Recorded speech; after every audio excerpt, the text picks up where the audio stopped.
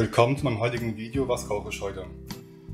Heute koche ich was mit Fisch. Hier habe ich ein Pangasiusfilet und das mache ich auf einer Peperonata. Einfach Paprikagemüse mit Tomaten und Zwiebeln und dazu mache ich noch ein bisschen Knoblauch mit dazu. Dann habe ich ja noch Frühlingszwiebeln und ja noch ein paar gekochte Kartoffeln, da mache ich später Schwenkkartoffeln draus.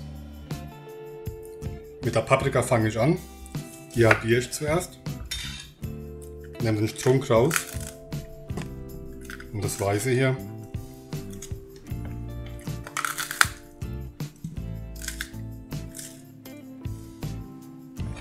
Und schneide sie dann in grobe Würfel.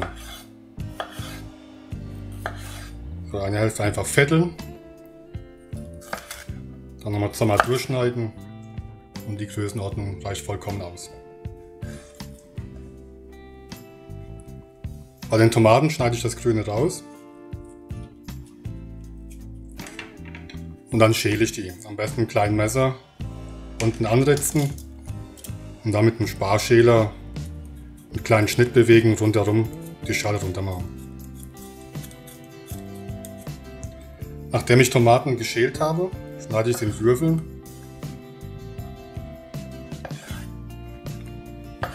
Zweimal halbieren hier dritteln. Die Zwiebel, die brauche ich für die Peperonata und schneide so für die Paprika in grobe Würfel. Den Strunk hinten schneide ich gerne weg, weil der hart ist und länger braucht beim Braten oder Garen. Einfach der Länge nach dritteln und dann runterschneiden Würfel. Dass die ungefähr die gleiche Größe haben wie die Paprika. Die Knoblauchzehe einfach nur in dünnen Scheiben runterschneiden. Dabei auf die Finger aufpassen. Und das gebe ich dann zu den Zwiebeln mit dazu. Mit der Peperonata fange ich an. Da habe ich eine Pfanne schon mal vorgeheizt. Mache Olivenöl rein. Dann warte ich bis es so heiß genug ist. Mach die Zwiebeln mit Knoblauch rein.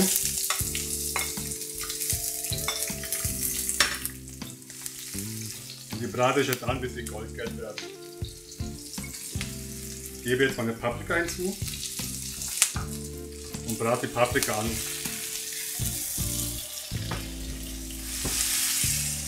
Die Paprika, die würze ich jetzt mit Salz, Pfeffer.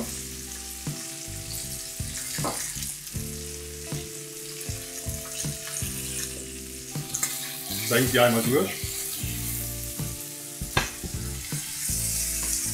Und gebe jetzt meine Tomatenwürfel hinzu. Die Tomaten auch würzen mit Salz, Pfeffer.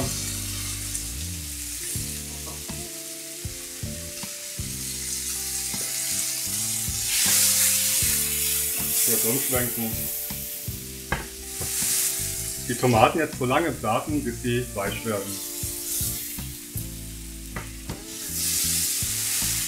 Die Tomaten nun weich. Da gebe ich ein bisschen vom Frühlingsblau hinzu.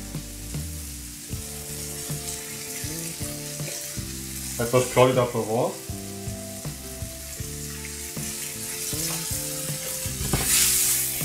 Schwenke es einmal um.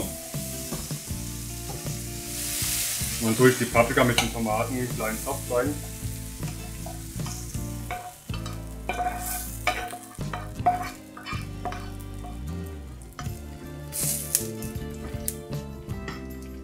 Mach einen Deckel drauf und stell es auf Seite.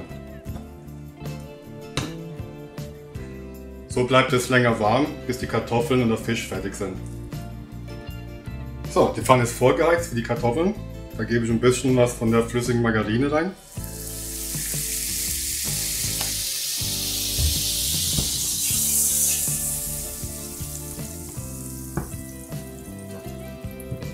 Und gebe dann die Kartoffeln hinzu.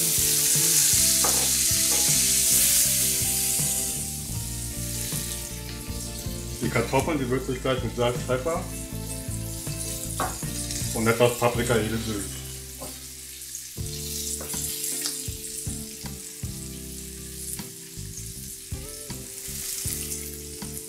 Die brate ich jetzt so lange an, bis sie eine schöne Farbe bekommen haben. Die Pfanne ist vorgeheizt. Dann mache ich etwas Olivenöl rein. Wenn das Öl heiß genug ist, lege ich vorsichtig ein Pangasiusfilet rein.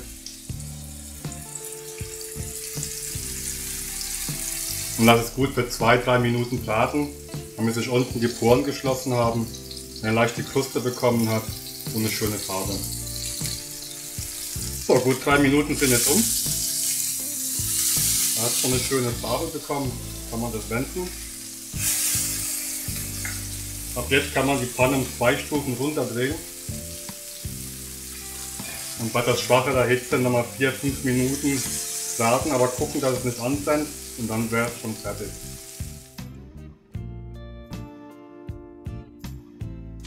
Ja, dann habe ich jetzt alles fertig, dann werde ich mal anrichten. Mache ich oben die Kartoffeln hin.